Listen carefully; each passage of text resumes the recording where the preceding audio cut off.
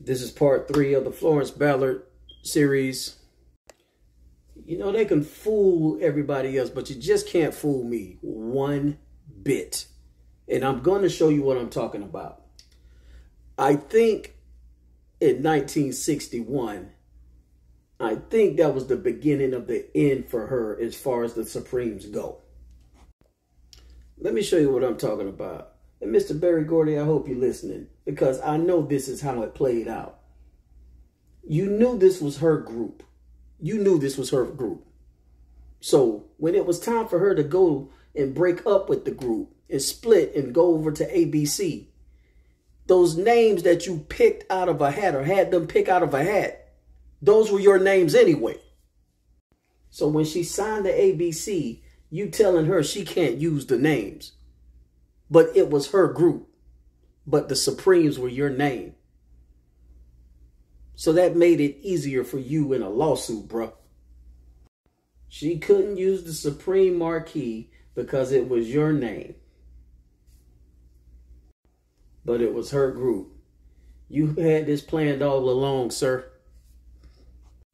If you didn't like her so much, if you didn't like her this much, not even that, you also, I don't think, I wouldn't put it past you to put this chauffeur on her to watch her. This Chapman cat. Because every time she came into some money from a lawsuit from you, he'd be there.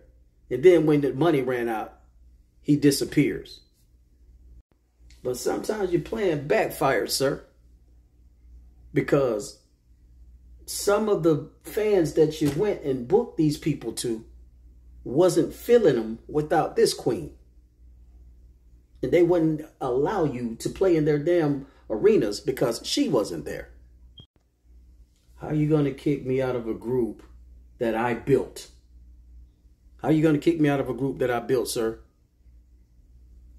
Because the only reason she got kicked out of the group is because your name, her group.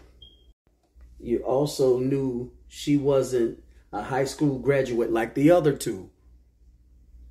So you took advantage of that and caused her to sign one of the top three worst contracts in music history. We have to do a part four, and I'm about to go deeper and again, I'm firing shots. Let me know if you want me to do a part four.